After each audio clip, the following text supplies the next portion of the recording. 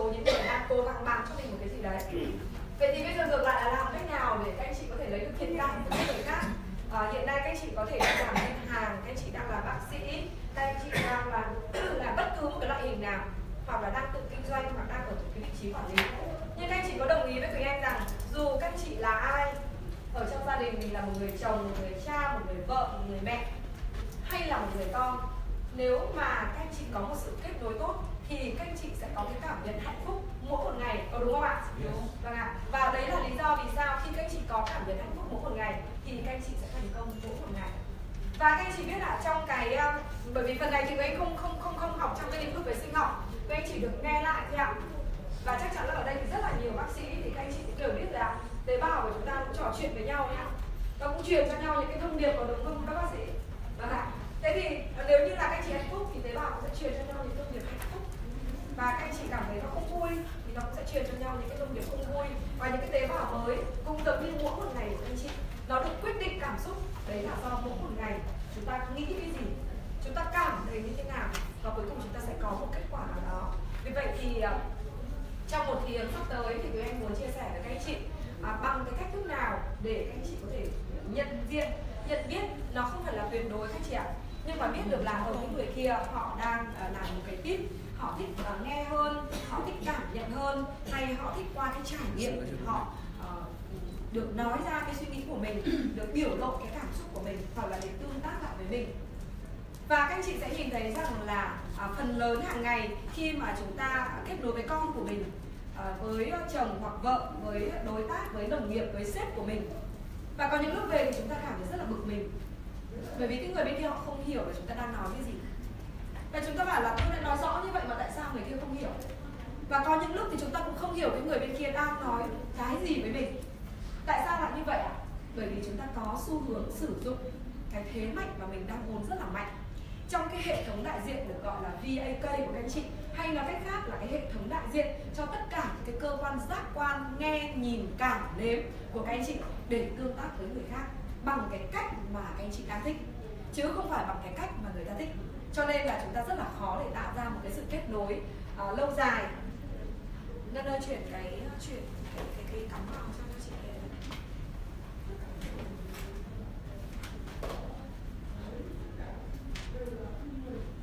cái, cái USB cái màu đen ở trong máy tính nhé nhớ đấy rất là chưa rút ra vâng ạ như vậy thì có thể nói rằng là uh, bằng một cách nào đó thì thực sự là không phải chúng ta sinh ra và chúng ta đã trở thành một cái người kết nối tuyệt vời và không phải lúc nào chúng ta cũng có thể xây dựng thiện cảm một cách tốt nhất nhưng mà nếu các anh chị không có một cái cách xây dựng thiện cảm tốt nhất thì trong công việc của các anh chị các anh chị cũng gặp những khó khăn nhất định. Đã bao giờ các anh chị đi học lớp và nghĩ rằng là, ồ, cái bạn này này, ngày xưa học không bằng mình, và bây giờ bạn ấy làm tốt hơn mình, bạn ấy thành công hơn mình, bạn ấy thăng tiến hơn mình, vân vân vân vân. Và trong khi mình học giỏi hơn mà chưa chắc mình đã bằng họ chị ạ. Nó chỉ đơn giản thôi ạ, là bởi vì cái người kia, cái chỉ số cảm xúc của người ta tốt hơn, cái khả năng tạo thiện cảm và kết nối của người ta tốt hơn mình. Một khi mà người ta đã hơn mình thì bằng một cách này hay bằng một cách khác bằng một lý do nào đó, chắc chắn là có những điều chúng ta cần phải học ở họ cho nên ạ, kể từ bây giờ chúng ta cũng dừng ngay cái việc là thằng kia ngày xưa nó trả bằng mình và bây giờ nó thành công như vậy. Vâng. tóm lại là bây giờ câu hỏi của mình đặt ra là bằng cách nào mình có thể thành công giống như người bạn? Công việc của chúng anh mình đang làm anh chị đi làm anh chị cảm thấy bực dọc với cái lão sếp của mình, cảm thấy là khó chịu với đồng nghiệp của mình, vân vân vân vân thì có nghĩa là chúng ta đang bị ngắt cái sự kết nối. Và cái sự kết nối đấy thông qua cách nào các anh chị? Có phải thông qua cách chúng ta nói không ạ? Có phải thông qua cách chúng ta nhìn không ạ? Có phải thông qua cách chúng ta cảm nhận người khác không ạ? Và đôi khi cũng phải là một cái sự gọi là tiếp xúc với nhau. À, có những cái người mình gặp giống như các anh thôi rất thành thực là nếu mà chị em chúng tôi nhìn mà nó sạch sẽ mát mẻ một tí thì các anh vẫn còn thích hơn là nhìn một bà già khuất ta biết đúng không ạ? Ăn mặc trông mặt những thì nhiều nhò tất cả là như vậy thôi đấy là những cái gì thuộc về của chúng ta nhìn. Vậy thì sáng ngày hôm nay thì bọn em muốn chia sẻ uh, chuyển đến ra ơi có cái bút ở trong cái túi vâng. Vậy thì ờ, làm cái cách nào để chúng ta xây dựng thiện cảm? Và mục tiêu trong một tiếng sắp tới thì mấy anh giúp cho các anh chị à, chúng ta sẽ có được một cái phần nhận biết khách hàng của mình để biết xem khách hàng của mình họ là người thích nghe hay khách hàng của mình họ là người thuộc tiếp nhìn hay khách hàng của mình họ là người phải thông qua một trải nghiệm và thông qua cảm nhận thì họ mới tiếp nhận những cái thông tin của mình và chính vì vậy thì cái việc xây dựng tạo thiện cảm đó, nó có thể xuất phát từ hai phía, các anh chị ạ. Và chúng ta có vô số cách để tạo thiện cảm với nhau.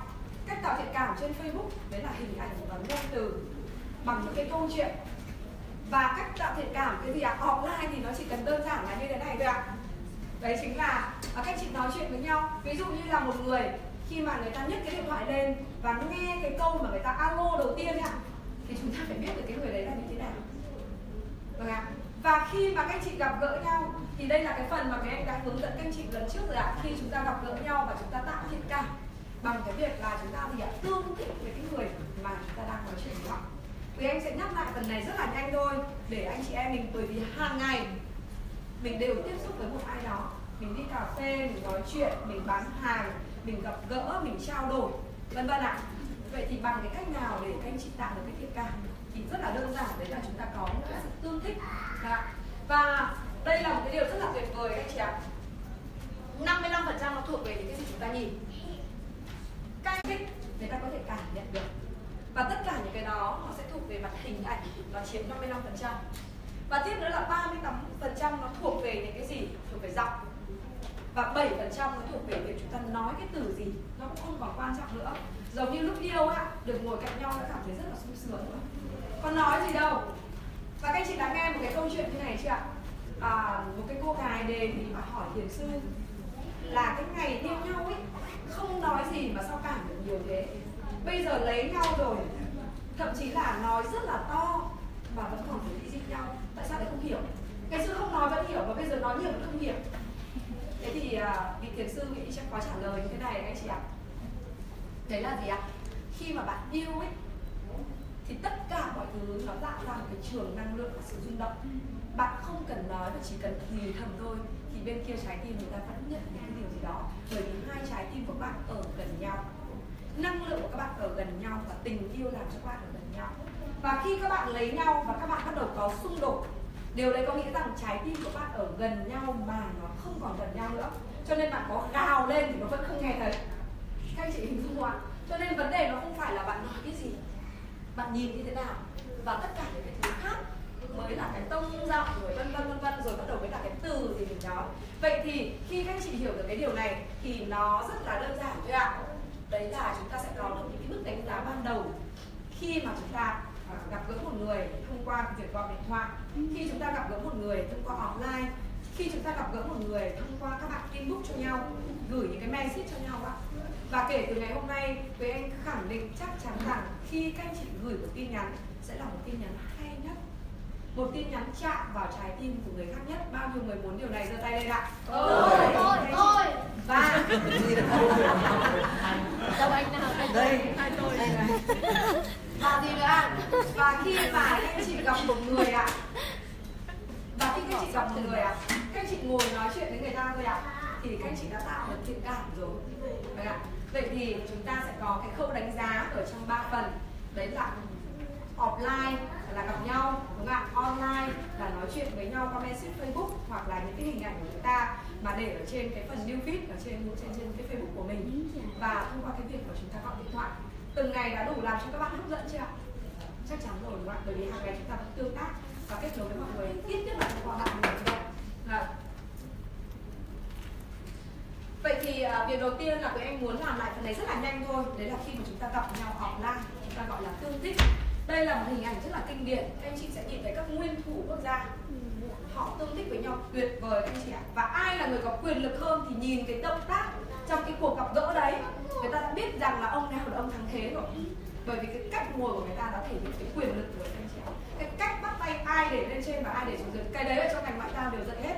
Nhưng với anh chỉ muốn chia sẻ là như này đấy không phải là việc của chúng ta thể hiện chúng ta quyền lực hơn. Việc của chúng ta là kết nối được với người khác tốt nhất. Vậy thì trong cách mà các anh chị ngồi cần có một sự tương thích về mặt vô thức thì người kia tự động họ sẽ tương thích với mình nếu như mình có cái động tác giống như họ. Ví dụ là như thế này ạ. À, khi mà những cô gái muốn à, thể hiện cái sự là quyến rũ với các chàng trai chúng tôi sẽ làm gì ạ? À? đơn giản thôi ạ à, chúng tôi vuốt tóc chúng tôi ngồi nghiêng nghiêng mắt chúng tôi hấp háy miệng chúng tôi chề ra một tí.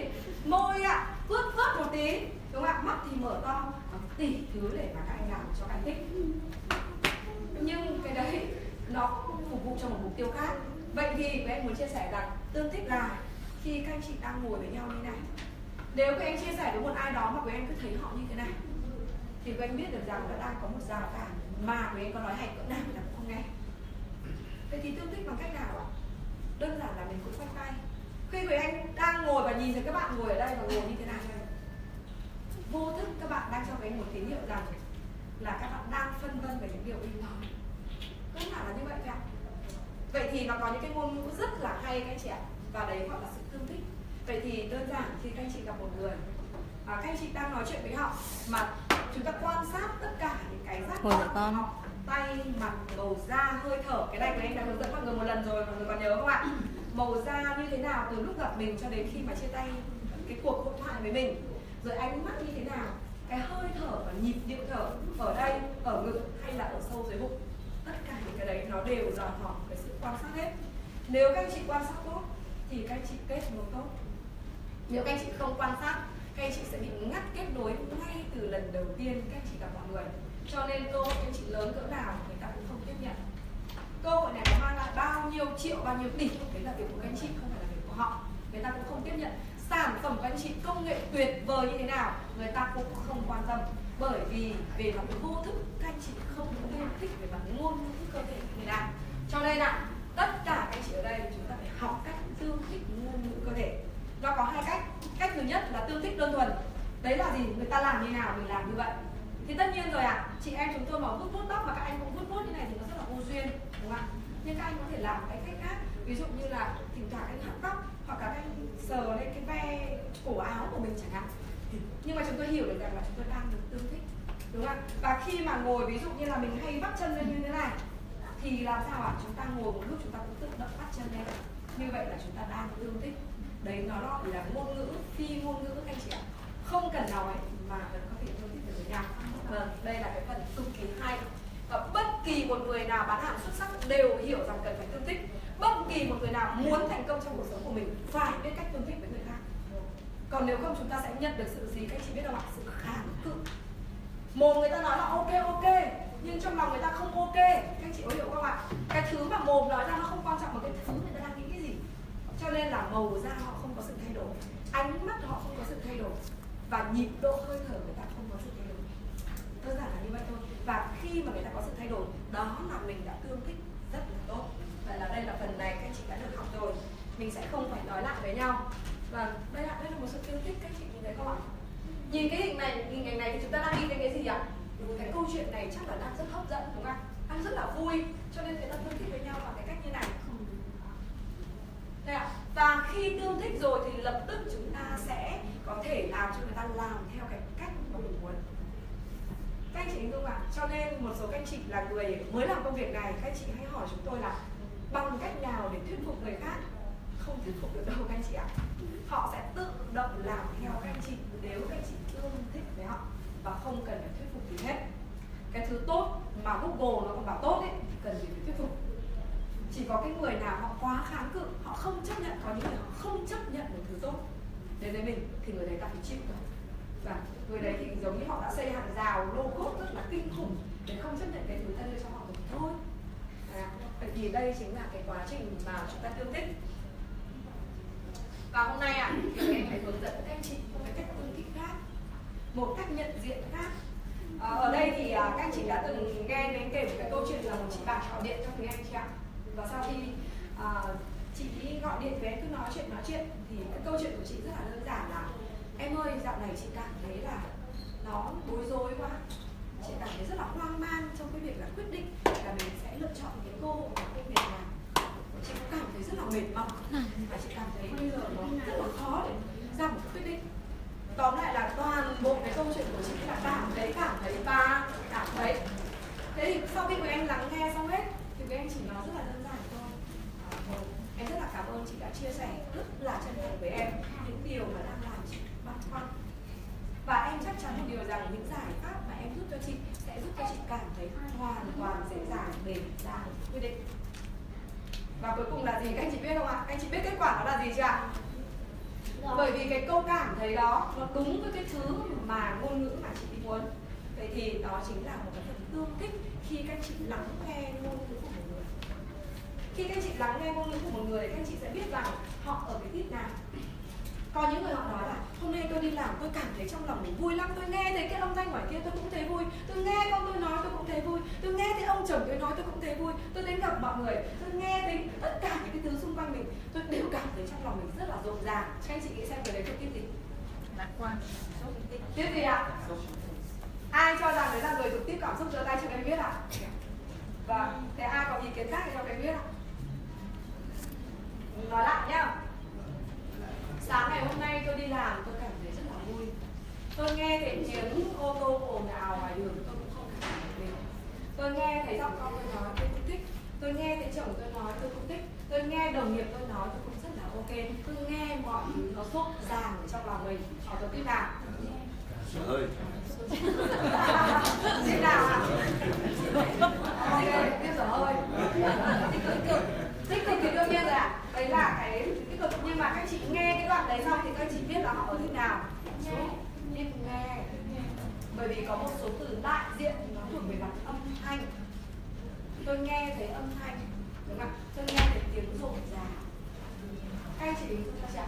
và tất nhiên là không có một ai đặc trưng chỉ có một tip tôi chỉ cảm thấy chỉ nghe thấy đâu. Họ sẽ lẫn lộn giữa nghe và cảm nhận giữa nhìn và cảm nhận. Ví dụ như là các anh. Chẳng hạn như ông chồng tôi là một ví dụ. À, khi mà tôi hỏi cái gì đấy thì hoặc là tìm cái đồ vật trong nhà tôi là nhìn rất là rõ nhất. Em em em tìm cho anh cái điện thoại một cái. Anh không hình dung ra bây giờ anh đang để cái điện thoại nó ở đâu. Em tìm kỹ nó ở trên cái chỗ cái góc bàn làm việc của anh xem. Hình như là anh nhớ là nó đang ở góc bên trái của bàn làm việc. Và nếu mà em nhìn thấy nó thì em báo lại cho anh. Đấy ạ. Ông chồng tôi là biết gì anh chị? Nhìn. Tất cả các từ em hình dung anh hình dung ra là anh đang để cái điện thoại ở trên bàn. Nó ở góc phía bên trái ở bàn làm việc. Nếu em nhìn thấy nó thì gọi lại cho anh em. các anh chị hình dung chưa ạ? Thế thì cái việc là chúng ta lắng nghe cái từ của người khác có quan trọng không anh chị? Rất là quan trọng. Để các anh chị biết được, họ là nghe, là nhìn, là cảm nhận. Và có một cái tip là không xác định. Chẳng biết họ là nghe, là nhìn hay là cảm nhận. Nó có một số những từ ngữ rất là dễ để nhận ra. Vậy thì khi các chị biết được cái điều này, thì trong cuộc gọi điện thoại biểu hiện của những cái người mà họ thuộc tiếp nghe thì khi các anh chị nhất gọi điện thoại cho người ta thì việc đầu tiên người ta nhấc cái điện thoại lên các anh chị thử đoán xem cái câu alo đầu tiên sẽ như thế nào. Rộn ràng như mình đấy rất là nhanh. Alo! Alo! Không ạ nhưng mà người vào thuộc tiếp bảo nhận alo! Đấy ạ. Các anh chị chưa bao giờ để ý thôi. Bây giờ hôm nay xong về cứ thử mà xem và xem là để để mình tập nhá để tập thì đơn giản là gọi cuộc điện thoại để nghe xem bên kia người ta đang nói gì. Hoặc là mình nghe một cuộc điện thoại của ai là bán hàng cho mình. Có bạn ấy ngay lập tức vào là chị ơi em có một cái dự án bất động sản vân vân à, em đang làm cái này và hôm nay là sẽ có một cái sự kiện của bên em để chị có thời gian qua tham dự không? Và nó rất là nhanh. Thế nhưng mà có bạn thì nói là chị ơi em xin phép được nói chuyện với chị một chút có được không ạ? Có khác nhau không ạ? Khác nhau và chị ơi em đang có một cái dự án ở chỗ này. À, nếu mà chị có thời gian chị qua để chị nhìn xem những cái căn hộ mẫu của bên em. Có khác không ạ? À, cho nên từ bây giờ các anh chị sẽ bắt đầu để ý thấy cái tông giọng và nhịp độ khi các anh chị gọi điện thoại cho một ai đó để biết được là họ có thể có đi nào thì anh nói là có thể nhưng mà không chắc chắn. Vâng, bởi vì chúng ta cần phải có nhiều thứ để đánh giá và điều đấy hay không nhiều yếu tố nữa. Lát nữa thì chúng ta sẽ làm cái bài test để các anh chị biết chính các anh chị đang ở cái tip nào. Vâng và người anh sẽ cung cấp cho các anh chị là cái tip nào thì họ có thường sử dụng cái ngôn từ nào? Những cái từ ngữ mà họ thường sử dụng nào? Thì khi mà chúng ta nghe xong đấy chúng ta sẽ biết. Vâng và à, như vậy là qua điện thoại chúng ta rất là dễ. Thế nhưng mà nếu mà chúng ta gặp một người và thì rất là đơn giản. Các anh chị có thể biết được một người có việc các anh chị đặt câu hỏi. Và đơn giản thôi ạ một cái câu hỏi liên quan đến sở thích giải trí của một người. Các anh chị thử nghĩ xem các anh chị đặt được câu hỏi nào để biết xem người đấy có thể thuộc thích nào? À lúc rỗi thì làm gì? Đúng rồi. Đây cũng là một câu, nhưng đấy là một cái câu hỏi không phải là mở và dễ dàng để có thể tìm ra được. À ví dụ như là, hà ơi, thông thường vào thời gian rảnh rỗi, bạn thích xem tv bạn thích nghe nhạc hay bạn thích đi ra ngoài chơi? Ta đưa ra ba lựa chọn nghe xem tivi là nhìn đúng không ạ? Nghe nhạc là nghe thích đi ra ngoài chơi. Nó sẽ liên quan đến xúc giác và cảm nhận. Có một vài cái câu test rất là đơn giản kiểu như vậy. Họ sẽ nói là ừ tớ thích uh, đi chơi vui với mấy người bạn đó. Thế nhưng họ nói là không tớ chỉ thích yên tĩnh một mình thôi. Tớ thích tớ nghe nhạc. Hoặc còn nói là tớ thích xem một cái gì đó liên quan đến phim đó vậy thì chúng ta có thể đặt một cái câu hỏi lại như vậy à, Ờ, hoặc là với những cái người các anh chị đã làm doanh nhân, các anh chị đã làm doanh nghiệp, các anh chị đã ở các vị trí quản lý, thì câu hỏi cực kỳ đơn giản khi phải ra một quyết định quan trọng, thì anh thường dựa trên điều gì câu này là câu rất là hay khi mà anh chị làm cái việc chốt sale ấy. khi cần phải ra một quyết định quan trọng thì anh thường dựa trên những yếu tố nào à có người nói là, tôi sẽ dựa trên trực giác của tôi. Mách bảo có người thì sẽ nói là gì ạ? Tôi chỉ cần phải quan tâm là số má mọi thứ phải chắc chắn rõ ràng. À, có người sẽ nói là tôi sẽ nghe những ý kiến tư vấn của những người thầy của tôi. Đúng không ạ? Rất là nhiều những cái cách khác nhau nhưng đấy là một vài câu hỏi để chúng ta biết được rằng họ có thể ở tip nào. Để chúng ta tiếp tục tương tác tiếp. Và khi chúng ta đã biết họ ở cái tip đấy thì các anh chị có sử dụng cái mẫu quen thuộc của mình nữa không ạ? Ví dụ các anh chị là một người thích nhìn à, tôi hình dung ra được là cái bức tranh của Luskin trong 5 năm tới nó là một cơ hội vô cùng tuyệt vời. Đấy là một người rất là tiếp nhìn đấy chị nhưng cái người tiếp nhìn đấy mà lại gặp một ông tiếp nghe thì chốt theo cách đấy thì đứt rồi. Bởi vì cái ông nghe sẽ là gì ạ? Ông sẽ muốn dùng những cái ngôn từ của, của một người tiếp nghe. Ông không quan tâm việc ông hình dung gì trong năm năm tới. Ông muốn tôi nghe thấy gì trong các anh chị hình dung ra chưa sao mặt người ta như thế? Rồi xin mời đứng lên. Không hiểu thì đứng lên đứng lên đứng lên. Và đứng lên thay đổi uh, không khí đi ạ. Rồi tăng năng lượng đi ạ. Các anh chị uh, bên phải quay massage cho người bạn mình tí đi ạ. Nào Chị ơi, cả giờ rồi mình Sinh nhật. Rồi, bên phải quay, bên phải quay Vâng, quay cho bạn của mình đi ạ Wow, trời ơi Quay bên này cũng còn con Wow, mình quanh được Mình quanh được Không sao cả Ấn vai xong hỏi là bạn của mình cảm thấy như thế nào, nghe thấy như thế nào, thích không? Có thấy sung sướng không?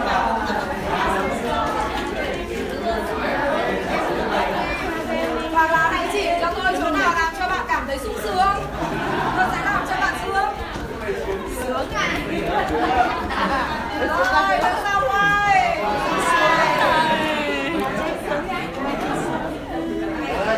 Tay to mà đấm sướng rồi Khi mà các anh chị nghe thấy âm thanh của massage và nghe thấy từ sướng thì các anh chị cảm thấy gì ạ? Sướng. Thế mà từ đấy giờ các bạn là không hiểu. Hết Thế này đi anh, lùi xuống nhá. Lùi xuống đi anh ạ. Sướng dưới đi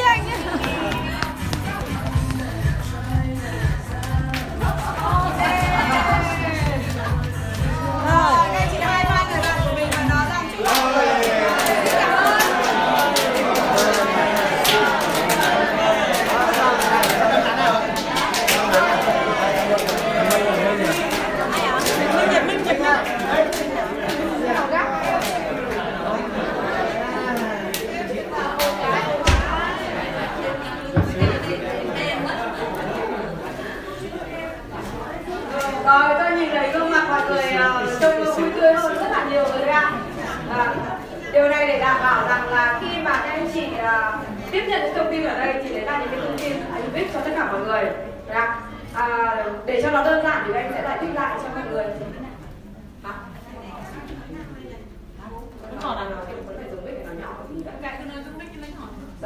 À, tức là như thế này các anh chị ạ. À, khi mà các anh chị nhận diện được cái hệ thống tiếp nhận thông tin của một người họ thuộc tiếp nghe, tiếp nhìn hay tiếp cảm nhận thì các anh chị sẽ rất là dễ dàng để tương tác và tạo ra sự kết nối đối với người khác. Đấy là ý nghĩa vì sao mình cần phải biết. Việc đầu tiên trước khi tương tác với người khác mình phải biết là mình đang thuộc cái tiếp nào. Đúng không ạ? À, các anh chị thích nghe những âm thanh nhiều hơn các anh chị thích hình dung hình ảnh nhiều hơn hay các anh chị sử dụng cảm nhận nhiều hơn để các anh chị biết được chính mình và các anh chị biết được đối tác của mình, có thể đấy là người bạn đời của các anh chị, có thể đấy là con của các anh chị, có thể đấy là đồng nghiệp của các anh chị, có thể đấy là khách hàng tiềm năng của các anh chị, để xem biết là họ ở cái nhóm nào. Và khi biết họ ở cái nhóm nào thì chúng ta sẽ sử dụng những cái từ ngữ của họ để làm gì ạ? Để chúng ta tạo ra thiện cảm và sự kết nối với họ. Đấy, mục đích của nó chỉ đơn giản như vậy. Mọi người đã rõ chưa ạ? Yes. Nếu mà rõ rồi thì các anh chị hai pha người bạn của mình và nói rằng là tôi đã rõ rồi ạ.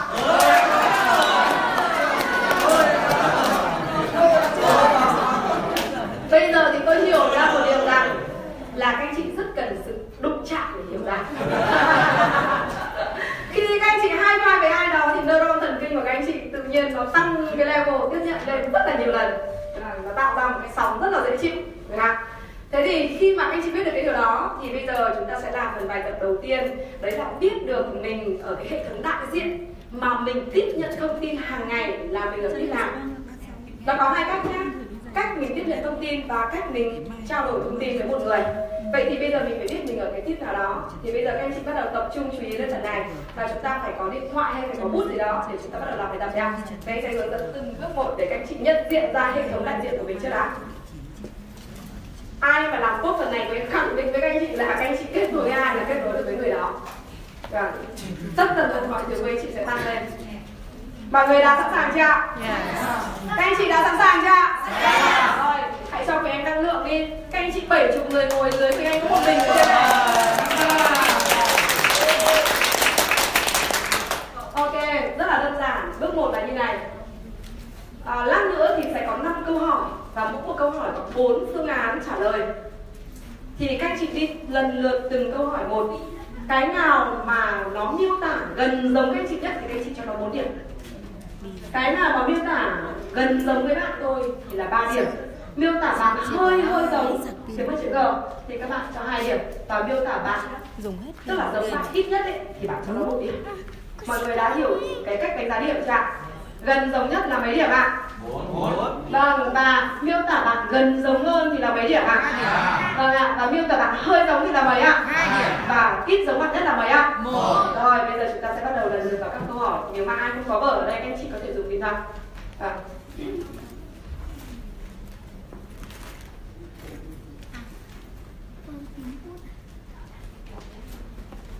mọi người đã có đầy đủ hết chưa ạ? Rồi chúng ta sẽ đi vào phần câu hỏi đầu tiên. À, các chị phải làm bài tập để lát nữa mình cộng điểm được không? Chứ nếu không mình không cộng được điểm. Rồi câu hỏi đầu tiên này tôi đưa ra những quyết định quan trọng dựa trên. Cảm nhận ở mức trực giác. Cách nào nghe thấy tốt nhất cái gì trông tốt cho tôi xem xét và nghiên cứu kỹ lưỡng vấn đề. Đây là bốn cái phương án các bạn bắt đầu cho điểm bốn ba hai một. Cứ cái câu nào là giống với bạn nhất thì bạn cho bốn điểm. Gần giống hơn thì là ba điểm. Ít giống hơn nữa là hai điểm và ít nhất là một điểm. Và chúng ta phải cho điểm tất cả một câu này. À, một phút để cho các anh chị bắt đầu cho phần đánh giá điểm của mình.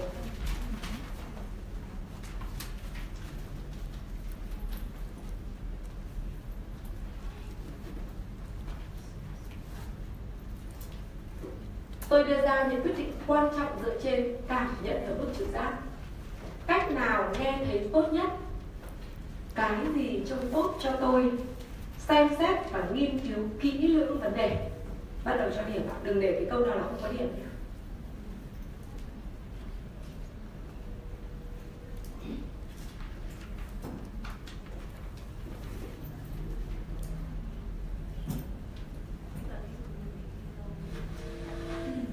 chỗ nào mà bạn chưa hiểu thì bạn hỏi con trực tiếp đi ạ. Đừng nói chuyện với nhau nó ảnh hưởng gì khác em có thích chưa hiểu không?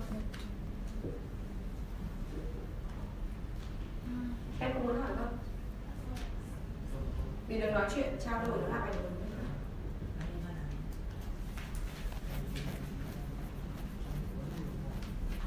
mọi người đã làm xong chưa thì giơ tay lên cho mình biết, để mình chuyển sang câu tiếp theo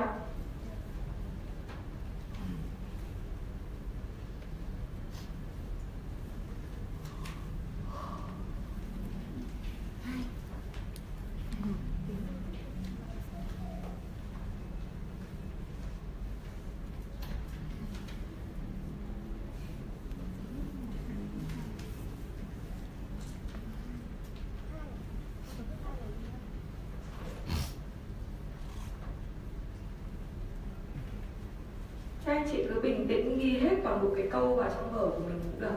Để lát nữa bắt đầu mình đến phần tính điểm để cho cần phải chính xác.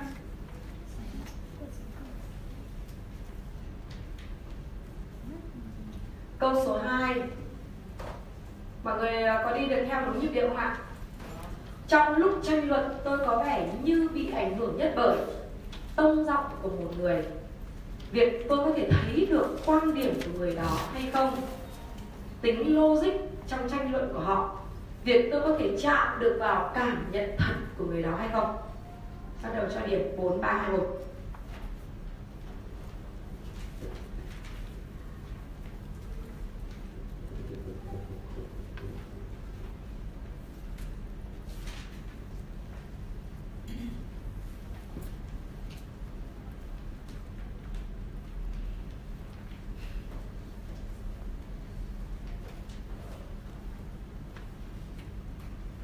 Trong lúc tranh luận tôi có vẻ như bị ảnh hưởng nhất bởi tâm dâm của một người. Việc tôi có thể thấy được quan điểm của người đó hay không, Tính logic trong tranh luận của họ, Việc tôi có thể chạm được vào cảm nhận thật của người đó hay không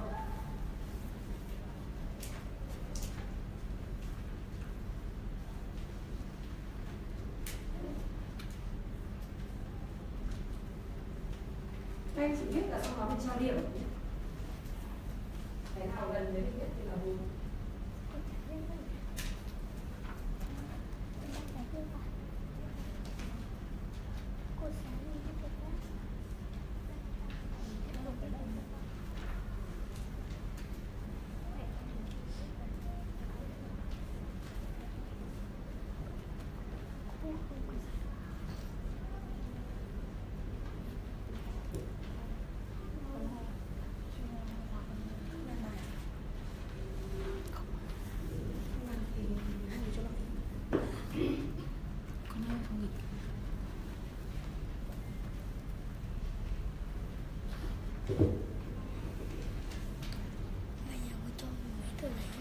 Tụi em muốn là các anh chị đã đến học viện mình cố gắng mình làm bài đi ạ. Nếu không nó rất là phí. Mình đã mất thời gian đến đây rồi. Mọi người đã trả lời xong câu này chưa ạ? Câu hai chưa ạ? Vâng, ok. Ai chưa xong các anh chị cứ làm đi ạ. Mình sẽ có thêm một phút nữa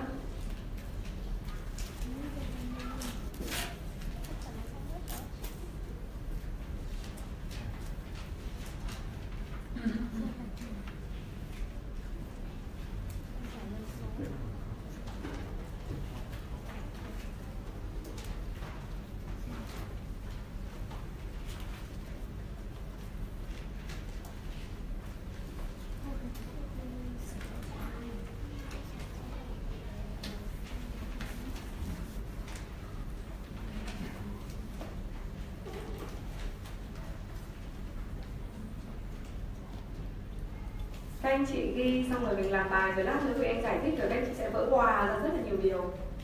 À. tại sao lại trong tranh luận của gia đình nó lại xảy ra vấn đề? Tại sao khi làm việc với khách hàng nó lại xảy ra vấn đề? Tại sao khi làm việc với ông sếp nó lại xảy ra vấn đề? À. và tại sao nói với con nó lại cãi với mình? Bởi vì đơn giản là chúng ta còn không hiểu là mình đang thuộc cái nhóm nào. Còn chả nói gì đến việc là hiểu người khác. Mình còn chả hiểu với mình thì nó hiểu đến ai, đúng không ạ? Cho nên là những cái sự bất đồng kháng cự nó sẽ xảy ra. Xong chưa cả nhà? Ok cho em dừng một phút ở đây giải thích nhá. À, ví dụ như trong lúc mình bị tranh luận người có tiếp cảm xúc đúng không mà họ cảm thấy rằng là cái người này, này đang tranh luận về một cái thứ nó không thân là họ phản ứng lại rồi. Nhưng mà một cái ông nghe tự nhiên chỉ cần nghe thì cái người kia đang nói chuyện bình thường giọng đều như này tự nhiên gằn cái giọng xuống một cái. Họ biết là người kia đang bực hoặc vống cái góc lên một cái. Là người ta biết là nó vấn đề nó làm sao, đúng không nhưng mà một ông mà tiếp nhìn thì ông sẽ nói là tôi không nhìn thấy được cái quan điểm của anh là đúng. Anh nhìn thấy không ạ? Quan điểm là cái gì mà nhìn thấy? Nghe nó buồn cười không ạ? Tôi chả thấy cái quan điểm của anh, tôi chả nhìn ra được cái quan điểm của anh. Thế nhưng mà cái ông đang nhìn thấy cái quan điểm này mà lại tranh cãi nhau với một cái ông trực tiếp logic thì chết rồi. Theo logic tính toán của tôi là như thế này mới là đúng còn một ông mà cảm xúc thì nói rằng, tôi cảm thấy như thế là không đúng. Mà không đưa ra bất kỳ một cái lập luận nào để nói với cái ông logic rằng là cái việc ông cảm đấy, ông nhìn thấy đấy nó không ok, thế có phải là cãi nhau không ạ? Vâng thế thì đấy là cái mà mà một cái để các anh chị có thể nhìn thấy. Bây giờ mình tiếp tục sang câu 3 rồi. Tôi thường truyền thông bản thân mình dễ dàng nhất bằng tốt nhất các anh chị ghi nhạc không cần chụp ảnh đâu chụp về có nhìn đâu. Ghi vào vở chả xem, ngồi ở đây còn chả tương tác. Cho nên các anh chị cứ hiện diện ở đây dù hôm nay các anh chị học được một ý nhỏ thì cũng là tốt rồi. Cách tôi ăn mặc và hình thức bên ngoài. Cảm nhận của tôi, chia sẻ, ngôn từ mà tôi lựa chọn và tông giọng của tôi.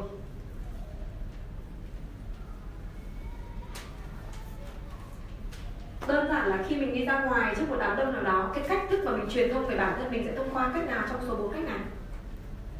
Có người thì thông qua việc ấn tượng về ăn mặc của họ. Có người thì thông qua cái việc người ta đứng lên, người ta nói một câu chuyện gì đó và chia sẻ. Có người thì thông qua những cái ngôn từ trong chút mà người ta được nói ra. Và có người thì có thể bằng một cái âm giọng the thế nào đấy choe choé nào đấy mà làm người ta chú ý chẳng hạn. Hoặc là một cái giọng hát hay cái gì đấy cất lên mà làm cho người ta phải nghe này vậy thì bạn đang thường truyền thông bản thân mình dễ dàng nhất bằng cách nào? Cái nào gần giống nhất với bạn thì bạn cho bốn điểm. Đỡ giống hơn thì ba điểm. Xong là càng đỡ đi nữa thì hai điểm và ít giống nhất là một điểm. À, anh chị đi lại và bắt đầu đánh giá điểm nha. Còn câu 4 mà.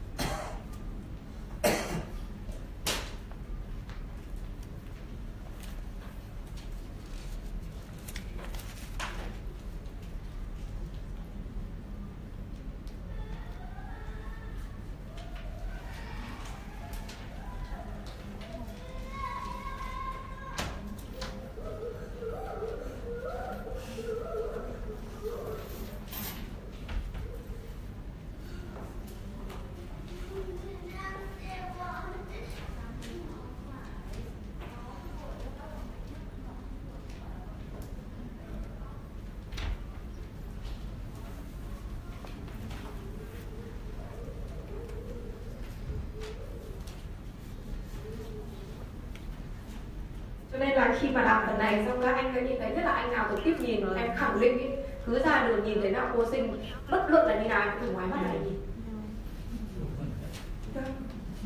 Rất là đặc trưng nhìn rất là rõ.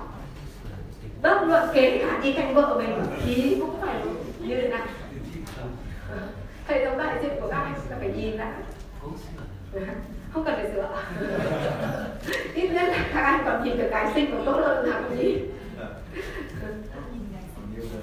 Vâng, nghĩa là các anh còn đang khỏe mạnh Xong câu 3 chưa cả nhà? Rồi Rồi, tuyệt vời, có vẻ phần này rất là dễ dàng Nó giống như là các anh chị hàng ngày đúng không? Mình chuyển sang câu 4 này, câu này thì nghe nó, nó hơi mông lung này Với tôi dễ nhất là tìm thấy âm lượng lý tưởng và chỉnh sóng trong một hệ thống âm thanh style chọn một quan điểm liên quan học thuật trong một chủ đề thú vị. Chọn các đồ nội thất thoải mái, chọn một phối màu phong phú và hấp dẫn. Cái nào gần với các anh chị nhất? Cho một điểm. Bốn, ba, hai, một thì cho điểm vào đừng cần phải hiểu cái này nó có nghĩa là như thế nào. Cứ đọc, nghe cảm xem cái nào gần với mình nhất, thì cho điểm.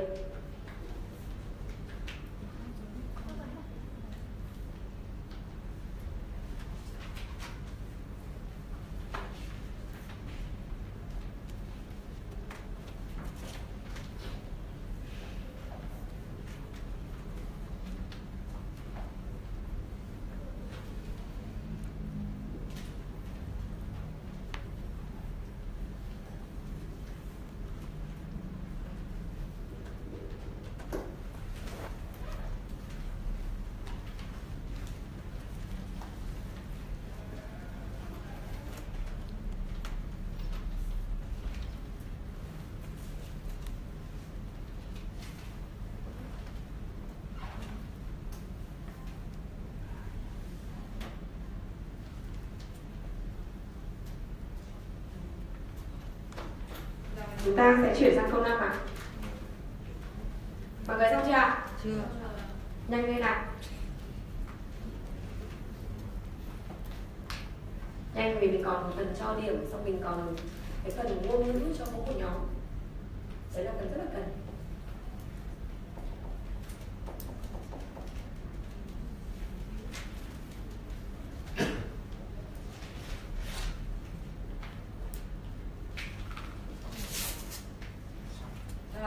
anh chị chúng ta chuyển sang câu cuối cùng câu này sẽ không có cái gì cả chỉ là bốn cái ý này mà các anh chị cho điểm ra tôi rất hài hòa với âm thanh của môi trường xung quanh tôi rất giỏi trong việc làm cho sự kiện và dữ liệu mới có ý nghĩa tôi rất nhạy cảm với quần áo mặc trên người chạm vào da thịt. Tôi có phản ứng mạnh mẽ với màu sắc và cách bài trí của căn phòng. Cái nào gần giống với mình nhất? Bốn điện. Thứ bốn, ba, hai, một, các anh chị chọn ạ.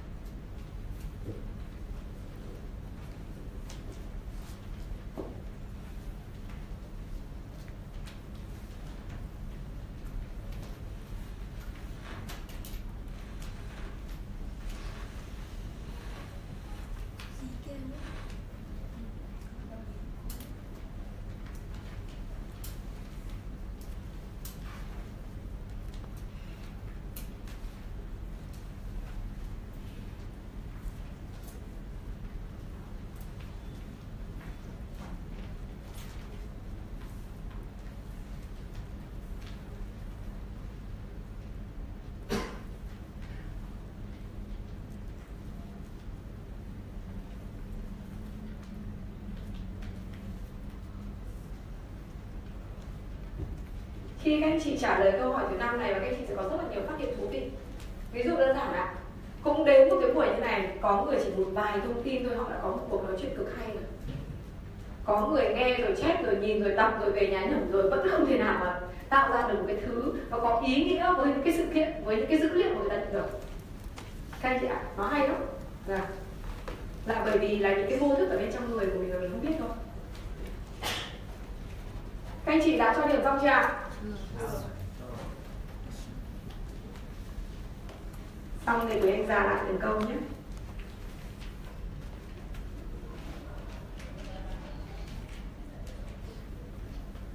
Xong chưa cả nhà?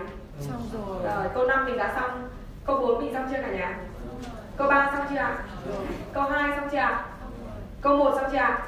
Rồi bây giờ các anh nhìn- chị nhìn vào các câu trả lời và bắt đầu mình cho phần chấm điểm như sau câu số 1 các anh chị chỉ cần viết cho Quỳnh Anh thôi ạ. K, A, V, A, D tương ứng với lại bốn cái câu trả lời vừa nãy của các anh chị. Các anh chị lấy một cái tờ giấy khác và ghi điểm vào đấy cho Quỳnh em nhưng mà cũng phải ghi theo những cái dòng là K, A, V và A, D. Cứ theo một thứ tự, cả năm câu đều như vậy. Mình ồ tuyệt vời. Quý Anh muốn hỏi này, thứ tự vừa nãy có ai chép lộn xộn không? Cho tay lên không không rồi, có ba người chép lộn xộn. Còn lại mọi người đều theo chân tự này, đúng không ạ? Rồi, ba người chép lộn xộn đấy trong bài sau các chị thấy chưa ạ? Vẫn một vấn đề nó như vậy thôi. Cách chúng ta nhận thông tin vào là khác nhau rồi. Bởi vì họ nhận theo cách mà họ dễ hiểu. Họ ghi theo cách mà họ dễ hiểu. Và quý anh đã nói là gì ạ? Các anh chị tuân thủ từng bước này cho quý anh rồi mà các anh chị đã nhìn thấy chưa ạ? Vâng ạ. Cho nên là đưa 100 nghìn cho tất cả 70 người ở đây sẽ có 7 cái cách sử dụng khác nhau, đúng không như vậy đó. Và thôi, bây giờ ba bác cứ ngồi đấy. Các bác nhìn chúng em làm, nha. các bác không tuân thủ rồi bây giờ thứ tự lại câu 1 các anh chị ghi đi ạ. K, A, V, A, D. Và các anh chị nhìn vào câu trả lời vừa nãy của mình và chép nguyên số điểm theo thứ tự vào sang bên cái câu trả lời để cho em chép thứ tự như đúng thế rồi luôn cứ ghi nguyên cái thứ tự đấy về sang đúng bên này cho em nhưng mà phải nhớ ghi là K A V A D để lát nữa mình còn làm phần ở bếp ví dụ các anh chị câu một là các anh chị trả lời là một ba năm hai bốn chẳng hạn thì các anh chị về nguyên sang bên này nhưng mà gắn vào cái chữ là K A V A D để cho em hiểu chưa ạ? rồi hiểu Rồi, tuyệt vời lắm ạ. Các anh chị bắt đầu làm câu 1 đi, mình làm cùng một nhịp điệu với nhau.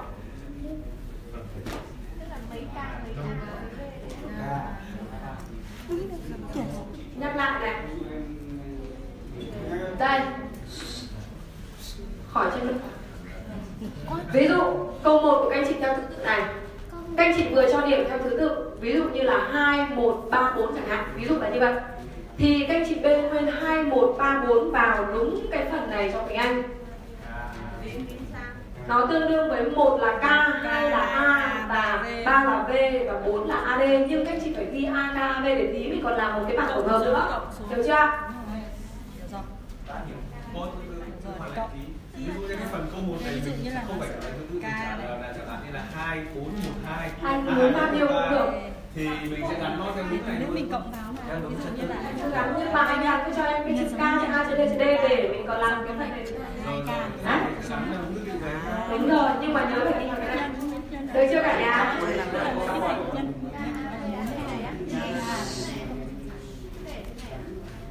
sẽ ra đúng rồi chuẩn đúng rồi theo đúng cái chỗ đấy em biết và chị có cách gì ạ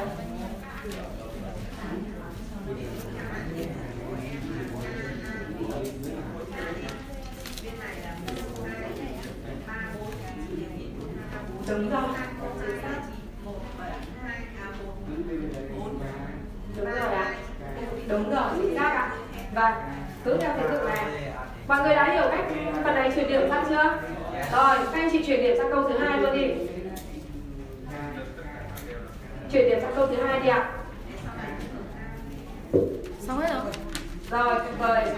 Ai xong thì chuyển điểm sang câu thứ ba đi.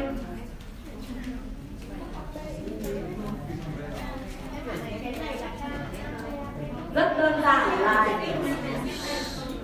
rồi, các mọi người nhìn lên đây, mình giải thích lại một lần nữa. Đơn giản là bốn cái câu như thế này. Các chị vừa cho điểm như nào thì về nguyên bốn cái kết quả điểm đấy.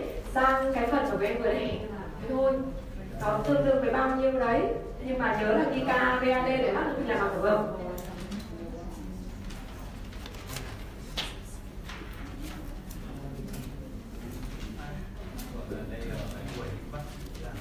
đấy bắt chước thực ra là nếu mà có một cái đủ thời gian và cho anh biết được lượng người thì anh mới ghi được tài liệu. Nhưng mà mà mình không có đủ đấy thì anh buộc phải dùng slide hay thì đó sẽ làm các anh chị phải tập trung hơn. Giờ thì câu 4 các anh chị chuyển điểm sang câu 4 đi. Chuyển điểm sang câu 5 đi. Rồi mọi người xong hết chưa? Ra tay lên cho mình biết ạ. Rồi bây giờ hai ba người bạn của mình nói rằng mình giỏi quá Mình giỏi quá.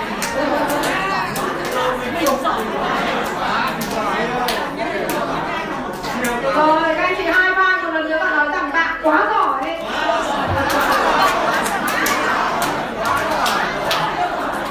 em nói thật là em phục anh chị quá bài này mà lớp em được học ấy. Nó mất gần hai tiếng mà vẫn cãi nhau. Mà các anh chị vừa nãy đến giờ là làm có tầm 15 phút thôi cho nên chúng ta hãy dành một tràng pháo tay cho chúng ta đi ạ.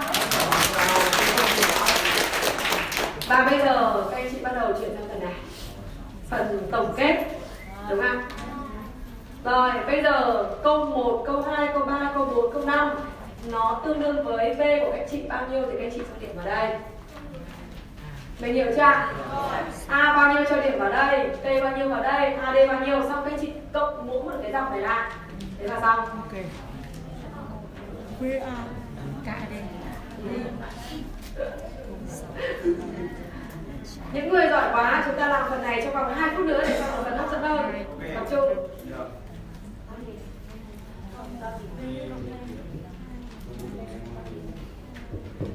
trên này là AD này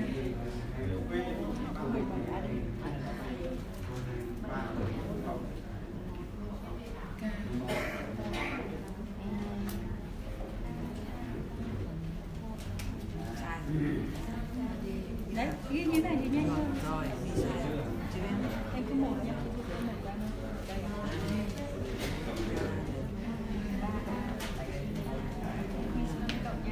Ai mà làm test vân tay cho con rồi thì phần này các chị làm nhanh không? Dạ. Cứ đi test vân tay cho con rồi biết ngay con nó đang rồi thì hết được lại xin nào Làm rất là dễ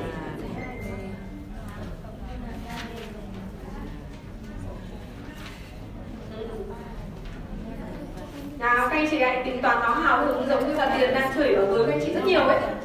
Cho nó cảm thấy thích thú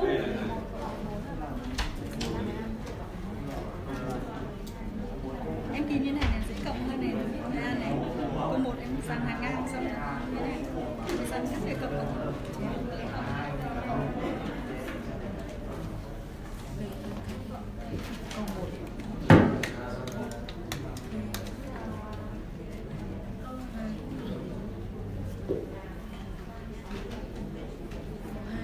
ơ nhưng mình chưa hiểu lắm nhỉ Chị ạ Vâng, và chị Phương Dung là gì ạ? Điểm cao nhất của chị là gì ạ? À AD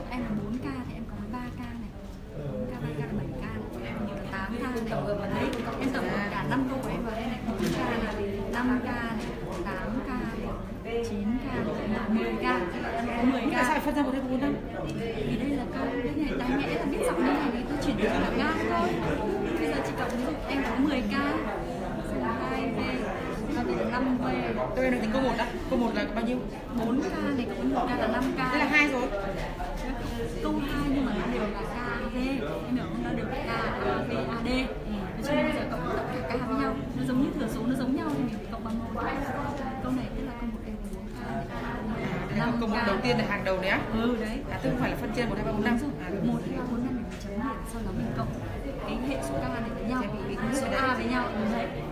Như vậy là mình sẽ là của em đánh giá. K này năm k này. Một là năm k này. Năm k ba k là tám k này. Tám k bốn là chín k này. Một là 10 k tổng của em là 10 k câu một là 10 k không em ghi là tổng. Tổng cả năm câu của em là 10 k đấy. Em ghi vào đây. Tổng là 10 k đấy. 10k này. Xong. 3A này còn đây là 2A là 5A này 9A là 9A này 11A này 4A này 3A 13A 11 15A chứ 11 14 là 15 có cái ca này là 5 5 9 9 cộng 2 11 tổng là 15 15 15 A anh chị em tổng kết xong chưa? Quá, hai ba người bạn của mình mà tớ đang sướng quá, tôi tổng kết xong rồi.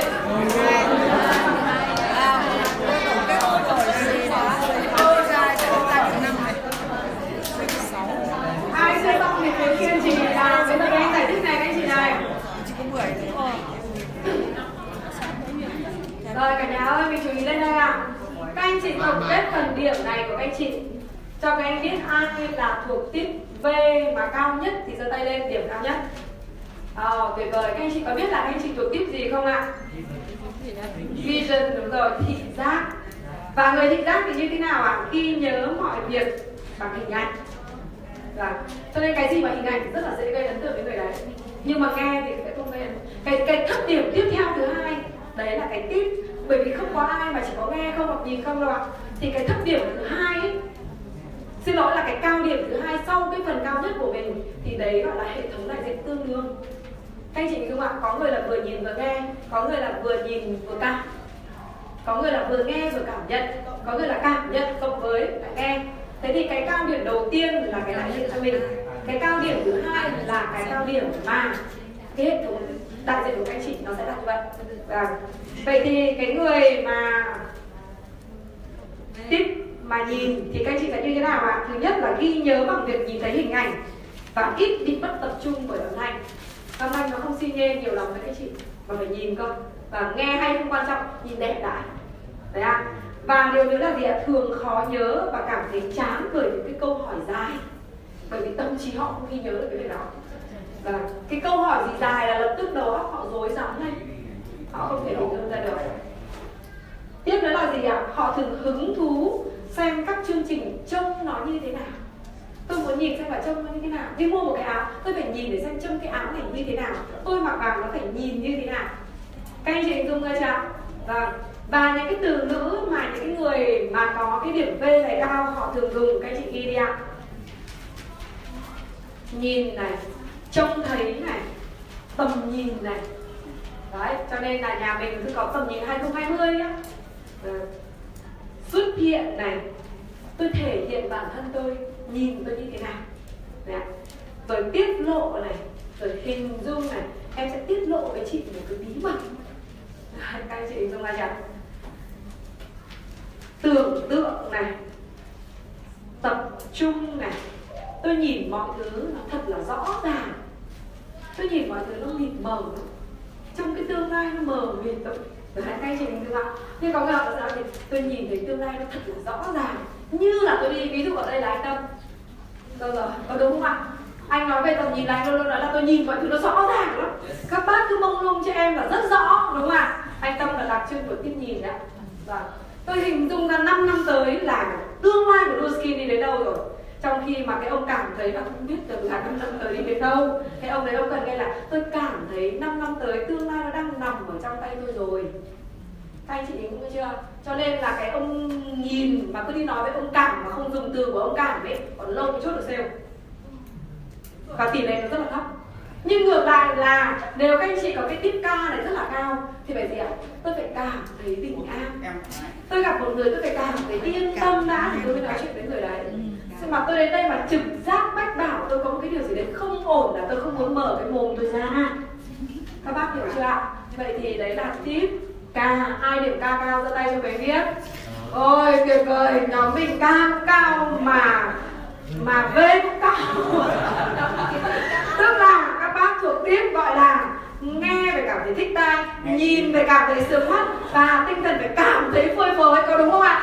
Thì các bác mới được gọi là truyền cảm hứng rồi cho nên người tiếp ca các anh chị thường sử dụng những câu sau cái người tiếp ca thì làm sao ạ? Thường nói chậm và nhỏ nhẹ. Rồi. nghe đã thấy êm ái rồi ạ dễ chịu rồi ạ rồi họ thường phản ứng tốt với các phần thưởng hữu hình và sự tiếp xúc. Rồi họ ghi nhớ bằng cách làm và phải qua trải nghiệm. Nhìn không tin nghe không tin tôi phải trải nghiệm tôi mới tin. Người này rất thích đi học. À, cái người tiếp ca này rất thích đi học và tìm tòi vì đó họ hứng thú với các chương trình giúp họ có cảm giác ổn làm cho mình trực giác tốt. Hôm nay chương trình hôm nay bạn đi hội thảo thì thế nào? À, tớ cảm thấy ổn. À cái người này gặp bạn thấy thế nào? À, tớ cảm thấy là muốn nói chuyện. Đấy ạ. Hoặc ừ ở trong cái buổi lần xem thì tớ cảm thấy rất là bình an. Đó thì đấy là những người rất đặc trưng của cái tiếp ca này. Và, và người tiếp ca sẽ dùng những từ như sau. Tôi cảm thấy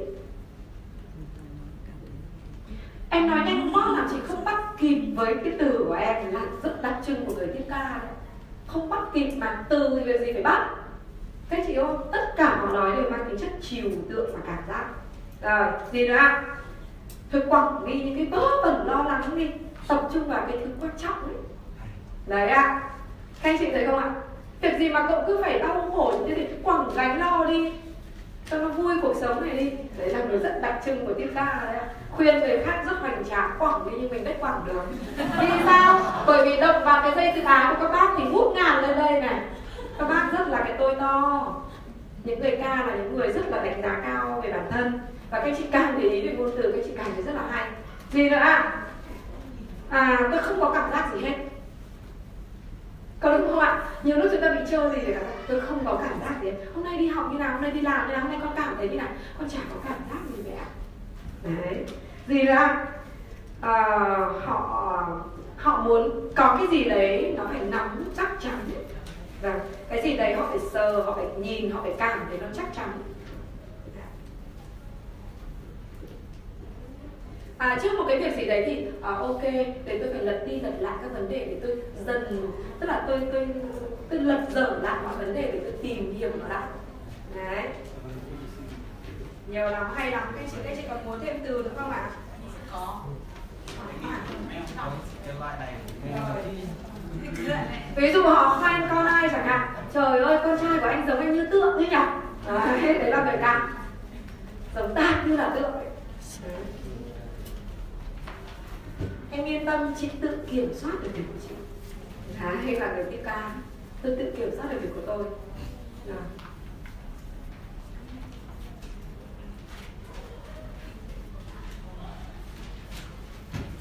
tôi cảm thấy nghẹt cổ nghẹt thở cổ hạn khi người ta nói về cái trạng thái không tôi bức bối đến nghẹt thở cổ. Các anh chị hình dung ạ? Tức là từ cái từ dạng hành động nhưng mà đối với người ta là một dạng cảm giác nghẹt thở còn với cái người nhìn thì họ đang nghĩ thấy đến một cái bàn tay nó siết vào cổ của người này nhưng mà cái người cảm thì vẫn là gì ra tôi thích sự tranh luận sôi nổi. Ví dụ là như vậy. Ôi giời, cái loại đấy bạn có cảm mỡ đấy người tiếp ca sẽ nói như vậy. Giờ anh anh tâm tầm năm cân cân. Này có cả mỡ nó một người có thể pha trộn giữa K và B hoặc là K và A chứ không có phải là nhưng mà họ dùng cái gì nó đặc trưng nhiều hơn thôi chị ạ Vâng. Cho nên cái này nó chỉ mang tính chất tương đối thôi các anh chị nhé. Nhưng mà thường người ta bao giờ sử dụng cái điểm mạnh đấy là người ta, người ta nói đầu tiên. Rồi còn gì nữa ạ? À, tôi phải nghiên cứu cho một cái nền tảng vững chắc. Đó, đấy là những cái người mà rồi dược sĩ Vân Anh cười tươi quá làm khoa học mà phải có nền tảng vững chắc, có căn cứ khoa học. Rồi, đấy là cái ca. Rồi, bao nhiêu người trong lúc mà nghe Quỳnh Anh nói cảm thấy hào hứng giơ tay lên cho mình biết? Rồi, các anh chị bắt đầu chuyện sang tiếp tiếp theo. Là nghe. Là ờ, nghe. Đây. Và tiếp thính giác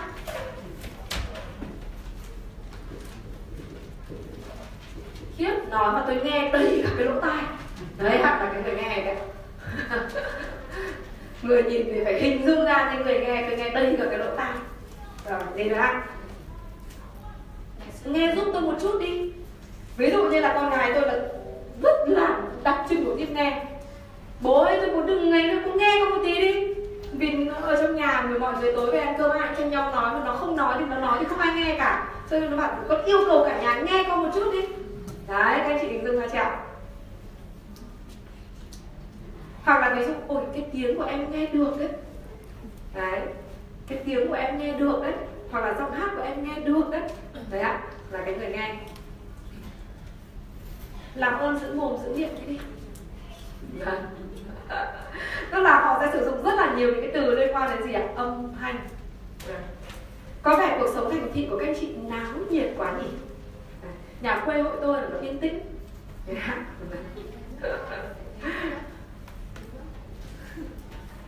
khi bạn công bố một mục đích thì bạn có cái sức mạnh trong giọng nói của bạn. Đấy. Đấy ạ là người tiếp nghe đấy công bố mục đích và sức mạnh của giọng nói. À. nói gì mà cứ làm nhạc thế. Đấy ạ. Các anh chị nghe thấy không ạ? Tất cả những cái từ nó đều có cái tính gọi là âm thanh. Có cái thông điệp nào tiềm ẩn ở đây không? Đấy ạ. Còn người mà mà tích cây thì họ là ý của bạn là gì? Người mà logic thì ý của bạn cụ thể là gì?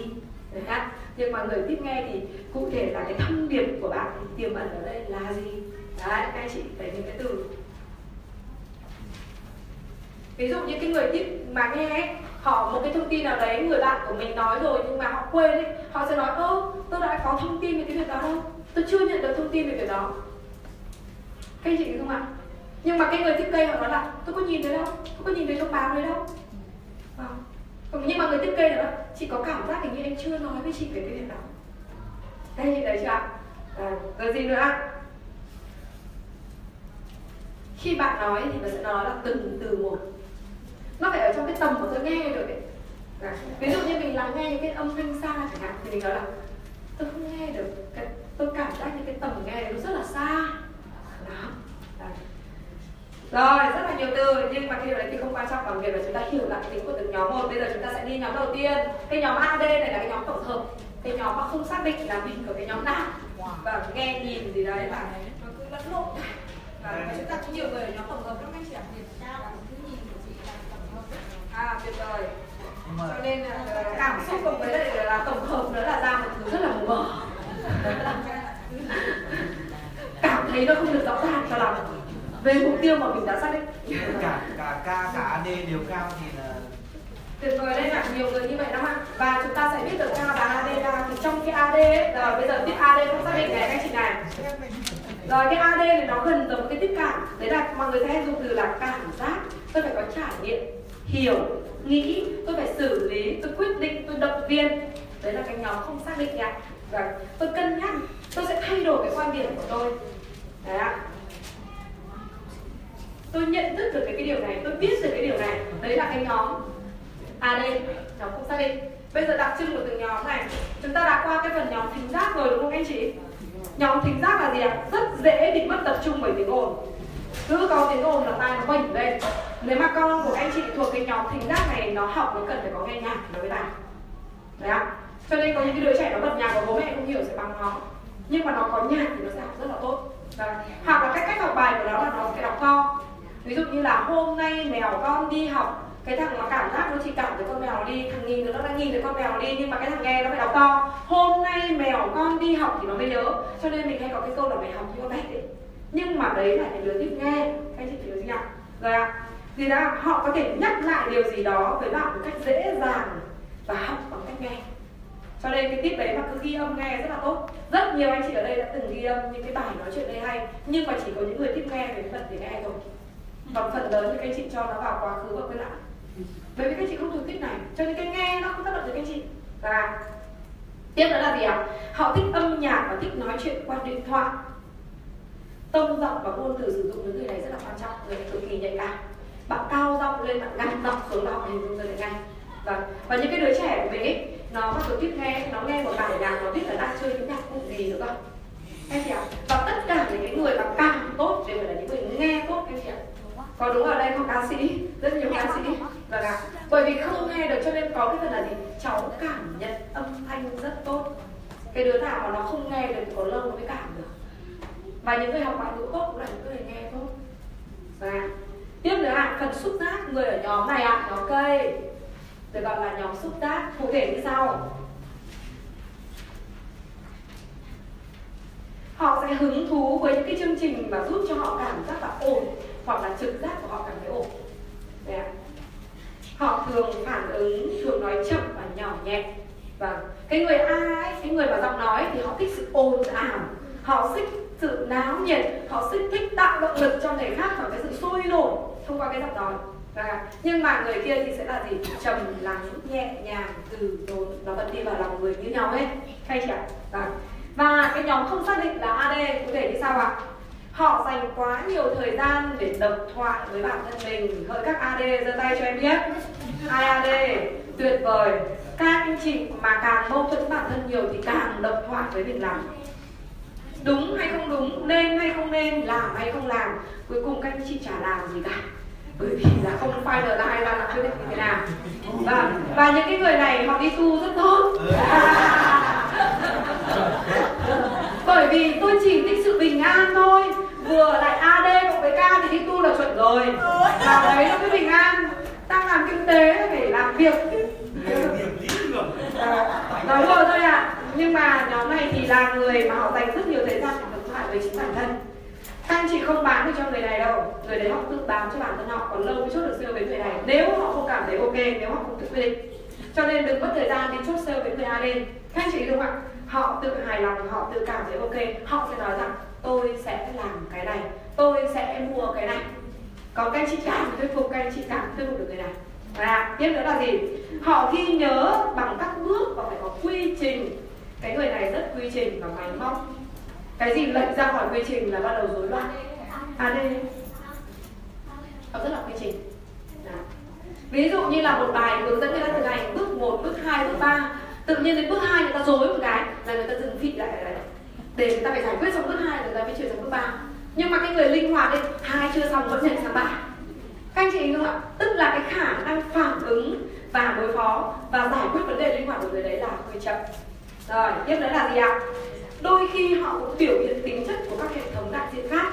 Tức là có lúc thì cũng giống như là một người nghe có lúc thì cũng giống như là một người thính giác là à, à, hình ảnh là nhìn có lúc thì cảm giác tức là cái tip này đôi khi ấy, nó không rõ ràng đâu vâng. Tức là là nó không rõ ràng là họ họ sẽ làm như thế nào. Thì đấy là à, một số những cái để các anh chị có thể quan sát được những cái người họ của tip nào. Vậy thì bây giờ các anh chị đã biết được là mình cái mẫu đại diện của mình là gì chưa ạ? Yes. rồi ạ à, và các anh chị đã biết là vì sao thỉnh thoảng mình lại đi cãi ông chồng mình chưa ạ? Cái bà vợ mình chưa ạ? Bởi vì đơn giản các anh chị ở cái nhóm độc thoại này mình còn chưa giải quyết xong vấn đề của mình mà gặp phải ông chồng ở cái tip là gì ạ? Thính giác. Anh nói cho em biết mọi thứ nó đơn giản hơn em nghĩ rất là nhiều làm sao mà em cứ phải dối tinh dối tóe lên nhưng bà này thì bà cần phải nghe là gì? Em cứ yên tâm anh sẽ làm mọi thứ và em sẽ cảm thấy rất yên tâm. Ôi giời ơi nói một câu đấy xong là không bao giờ cãi nhau đúng không ạ? Nhưng mà lại phải một cái ông nghe. Em chả nhìn ra được cái thứ mà anh nhìn cho nên là anh với em với là hai con đường song song. Đấy ạ. à, tôi đang đang điên hết cả người ra rồi, lại còn bảo hai con đường song song thì làm gì là không cãi nhau. Bao nhiêu người đã từng cãi nhau thì vấn đề đấy, giơ tay lên. Và hôm nay các anh chị có cần phải cãi nhau nữa không ạ? Không cần, bởi vì sao? Biết ông chồng mình ở tiếp nào đây rồi. Cãi nhau như vậy thì ngang với, gọi là, mỗi đốt inox và các ông chồng đã biết vợ mình thuộc cái tiếp cảm rồi thì cho người ta sướng đi. Đúng không ạ? Nói một câu thôi. Anh sẽ làm mọi thứ và anh sẽ cảm thấy rất yên tâm. Thế là mọi thứ nó đơn giản nhưng mà lại cứ chọc điên nó lên thì là phải chẳng cãi nhau. Lỗi cãi nhau là tại các bạn. Không tại phải là vợ ông chồng thì của mình cả. Được chưa ạ? và điều này nó cũng tương ứng với việc là các chị đi ra ngoài gặp khách hàng. Là cái người mà mình gặp. Thông thường thì chúng ta gặp nhau lần đầu thì thông qua cái việc là nhìn và hình thức, người thuộc cái tiếp nhìn họ có cái tính chất trau chút hơn, người thuộc cái tiếp cây họ có tính chỉn chu hơn. Đúng không các chị đừng có không chẳng nó liên quan. Còn tiếp với con nó còn liên quan đến hơi thở nhưng mà thời gian không đủ vậy cho các anh chị hơi thở xong các anh chị ôm cả thế giới này vào người bao nhiêu người muốn biết giơ tay lên ạ? Rồi. Đây là một điều không được bật mí cho ai. Mọi người có ok không ạ?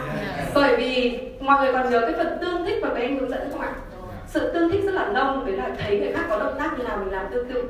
Nhưng tương thích sâu là khi mình ôm một người và mình phải cảm nhận được cái nhịp thở của người đó. Người cái phần này thì người anh muốn chia sẻ thêm bởi vì là cũng ít những cái tài liệu nói về cái này. Nhưng mà những ai đã làm đâu thì đều cảm nhận thấy rất là rõ. Cái người mà họ ở cái tiếp nhìn, cái hơi thở của họ nông nó không sâu xuống. Khi mà mình ôm ấy, mình thấy là cái hơi thở của họ đến đây thôi, chứ nó không sâu xuống ở phía dưới.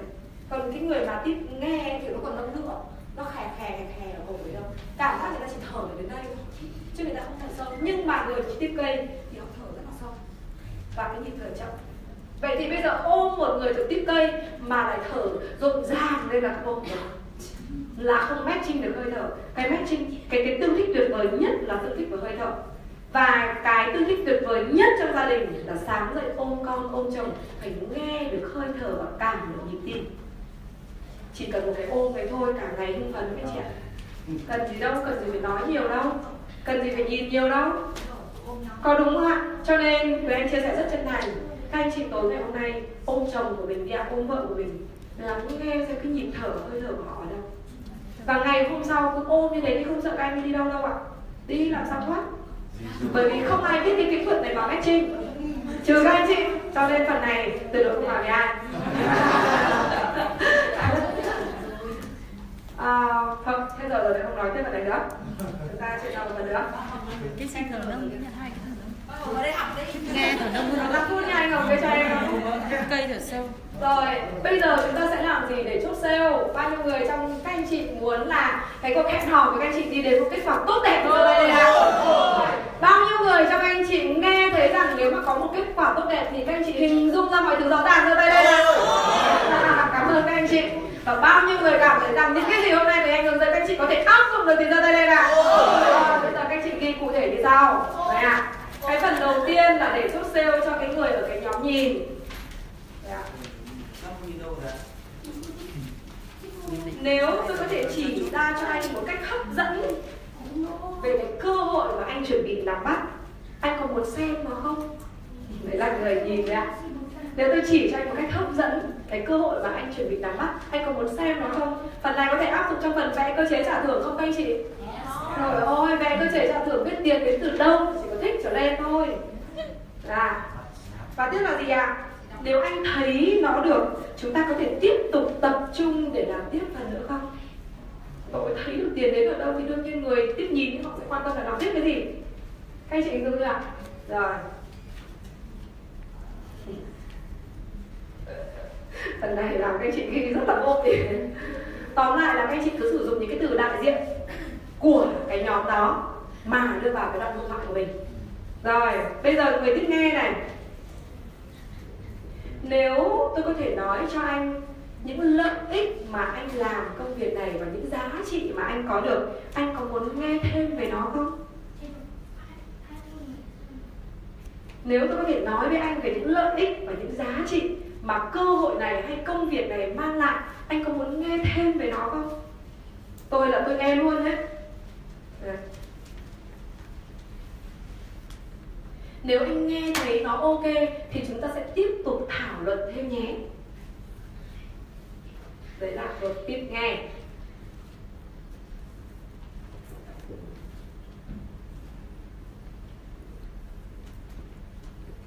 Tiếp cây này nốt để cho anh hùng và đóng cửa. Tiếp cảm nhận, cảm xúc, cảm giác ạ. À. nếu tôi có thể giúp anh nắm lấy một cách cụ thể về những giá trị và lợi ích, anh có thử cảm nhận nó không? Thử thôi mà, thử cảm nhận nó không? Nếu mà tôi giúp anh nắm lấy một cách cụ thể về cái cơ hội hay là cái giá trị hay cái lợi ích nào đó anh có muốn thử cảm nhận không? Nếu anh đã cảm thấy ok chúng ta sẽ tiếp tục trao đổi với nhau nữa nhé. Được chưa ạ? Rồi với câu thần thánh này áp dụng cho mọi tình huống. Gặp một người để tiếp tục câu chuyện là có chia sẻ câu kinh doanh hay không? Để tiếp tục nói chuyện về cuộc sống của họ. Để tiếp tục có thể chốt sale để tiếp tục có những cuộc hẹn mới. Có thể mời không anh chị? À. Đó cái nhóm AD ấy, thì thực tế mà nói là cái AD nó không có nhiều hệ thống đại diện nhiều lắm. Thường thì sẽ là K, A hay là V. Thế còn cái nhóm AD thì em chả nói được gì đâu. Nếu cái nhóm đấy có điểm cao nhất ý, họ tự quyết định. Và không bàn được cho họ Mà họ tự quyết định. Họ tự phân tích, họ tự đối thoại nội tâm của họ. Ví dụ như là trong cái nhóm AD họ lại là người cảm xúc cao Thì họ sẽ à, tôi cảm thấy ổn đấy Gặp cái người này tôi cảm thấy tin tưởng đấy Họ sẽ quyết định làm với mình. Dạ. Nhưng mà cái nhóm AD và cái người đấy lại là cái gì ạ? Họ lại là người nhìn Không phải là cảm nhận Tôi nhìn thấy có ổn Thì họ đã thuộc là cái nhóm gì rồi ạ? Cái nhóm này rồi Nhìn này rồi Vâng. Cho nên là chúng ta luôn luôn là tương đối các chị nhé. Đây chỉ là một trong những số để giúp cho các chị rút ngắn lại quá trình tương tác và kết nối với người khác thôi. Bao nhiêu người hôm nay cảm thấy tự tin hơn để tương tác với vợ của mình ạ? Rồi. Và bao nhiêu người tự tin hơn để tương tác với tao lai của mình ạ? Rồi. ok. Và cách đơn giản là à, các anh chị về và luyện tập. Ngày mai mình nghe một người nào đó và bắt đầu mình luyện. Nhưng mà cũng đừng phán đoán và đừng đừng nghĩ là nó ngay lập tức. Chúng ta có thể luyện tập bằng cách là đặt một số các câu hỏi. Chúng ta luyện tập bằng cách là lắng nghe người ta qua một đoạn hội thoại. Các anh chị nghĩ chẳng chúng ta luôn luôn phải là nghe đã. Chứ có đừng ngay lập tức và hôm nay với anh à, gặp mọi người thì nói với anh hỏi là bao nhiêu trong anh chị hôm nay cảm thấy mình rất là phấn khích? Thế là mọi người giơ tay lên và với nói rằng anh chị thuộc nhóm cảm xúc thế là sai đó đúng không ạ? Và nhưng mà trong cái ngôn ngữ mà trình bày thì ba cái K, A, V và AD này tuyệt hay. Bởi vì câu đầu tiên mà các anh chị muốn có thiện cảm với các anh chị sẽ nói là bao nhiêu người trong anh chị cảm thấy hôm nay là một ngày cực kỳ có giá trị. Giơ tay lên ạ. Rồi anh chị giơ tay. Bao nhiêu người trong anh chị đã hình dung ra con đường mình đi thời gian tới như thế nào? Và bao nhiêu người muốn chạm vào thành công của năm 2017 có giơ tay không? Đó đúng không ạ đó. Đấy tôi hôm sau buổi làm diễn giải và chuyện sau hôm nay chị để làm cho các anh chị có được một cái cách uh, tương tác tốt hơn. Cảm ơn tất cả các anh chị đã dành buổi tối ngày hôm nay và chúng ta đã có 50 phút rồi. Bây giờ thì ờ, phòng thì phải đóng. Và hôm nay thì sinh nhật em hằng cho nên chúng ta sẽ xuống dưới tầng 1 để làm sinh nhật em hằng. Nhưng mà trước khi chúng ta làm sinh nhật em hằng thì uh, cả nhà mình cứ hát tặng em một bài được không ạ? Ok xin mời em hằng lên trên này đi. Xin mời các anh chị đứng lên nào mời em đứng lên trên này. À, và xin mời các anh chị sinh nhật tháng năm mình lên trên này rồi, xin mời xin mời.